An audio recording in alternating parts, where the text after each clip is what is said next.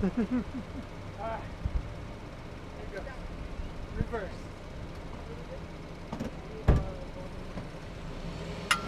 Mira, hijo, da las vueltas más open, no too close.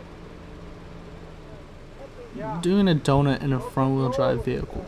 Can you do it, Joe?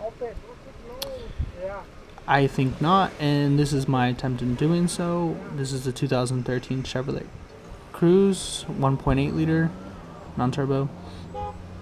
Um, and so on paper, I thought maybe just pop it in reverse, turn, and give it.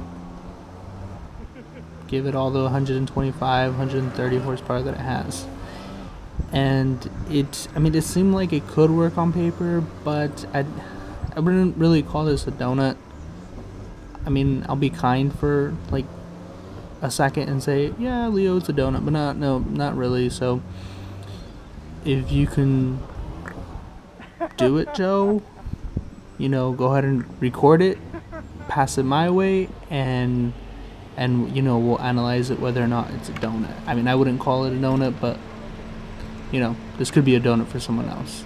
It was fun, but you know, I I wouldn't call it a donut.